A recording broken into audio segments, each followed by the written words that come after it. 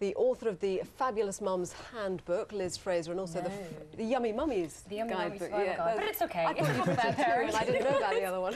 That's another one, but I'm sure it's good.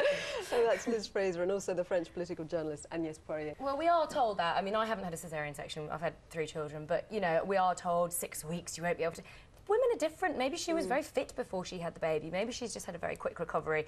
I mean, my reaction to seeing photographs is to think, I mean, she just looks incredible. fantastic, yeah. And and also, uh, you know, like Agnes says, you know, in France this is no story. Here we're just aghast at this, and we don't know her personal background. I don't know. Maybe she was with the baby all morning, feeding the baby. Then she's gone to do a few meetings, and then she's going back to the baby. Maybe she's not.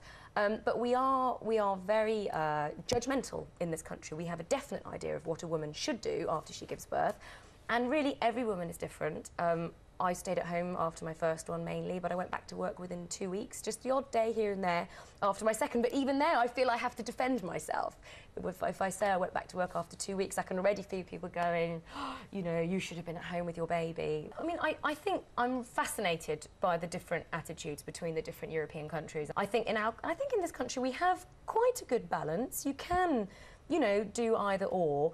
Um, but I do feel the judgment. I think the judgment is really there. You, you do. You feel that you have to say, "Oh, well, I needed the money to pay the mortgage," or, you know, and it, and it really it should be up to you and your baby and your circumstance to decide what you want to do. And childcare in this country is, is not brilliant, actually, and it's very expensive.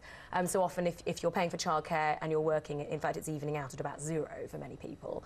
I, I would just like to say that I do think it is very, very sad if you have to you know, give, I don't say give away, but if your baby has to go into full-time childcare from so early on, I don't think that's such a great idea. I think if you can combine it in some way, and as I say, we don't actually know how much work she's doing. We're out of time. Agnès Poirier and Liz Fraser, thank you both very Thank much. you.